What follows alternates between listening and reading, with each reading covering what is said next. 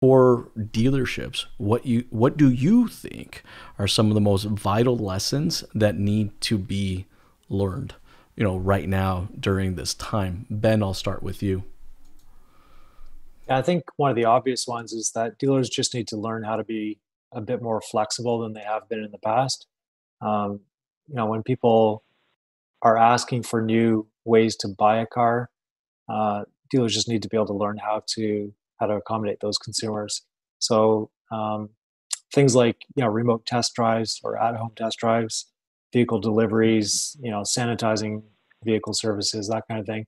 It's it's a new way of doing things, and I think um, with COVID nineteen, it's it's been kind of the catalyst to uh, to force dealers to figure out how to change and adapt so that um, they can continue serving customers that don't necessarily you know have the ability or want to come into the dealership to do business that's a great point i'm with you i mean i think if you know definitely that has to be up there in the top three lessons that you know every dealer needs to learn is that you know the, moving forward the customer needs to be more at the mm-hmm. core of our both our sales and service process. I mean, guys, let's let's admit it. As an industry, we've developed out sales and service processes that are good for us as a business.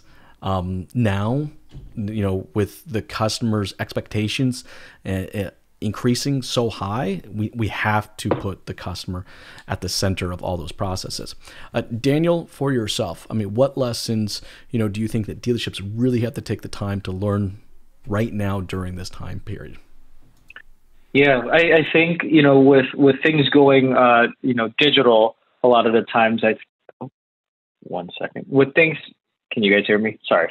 Um, with things going uh, digital, I think a lot of the times um, we're realizing that digital marketing is actually playing a much bigger role in a lot of dealerships' uh, lives. I mean, traditional marketing is almost non-existent right now, and uh, it, it, you know, the if you're giving somebody twenty thousand dollars a month and say, "Hey, go to town and and get me the best results," that's not going to fly anymore for for dealerships. Um, I think uh, the the the clients that we've worked with, uh, we've always kind of uh, asked for this. Hey, here's the thing, right? Like we're we're kind of an extension of of, of your team in a sense that if your salespeople are, or you have business objectives to meet, uh, whether it's uh, move more used cars or you got a bunch of uh, 2019 F- F-150s uh, that you need to move or whatever it may be, service uh, because you don't have your sales department open.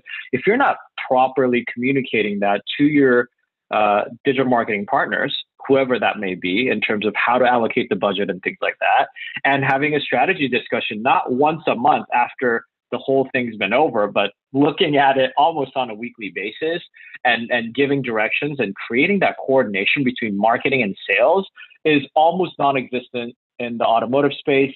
Uh, we've built some technologies to to integrate the CRM and the inventory that that the dealership has, and trying to figure out, you know, if they have too much of this car and automatically increasing budget and things like that. But there are so many things that just kind of get lost in translation.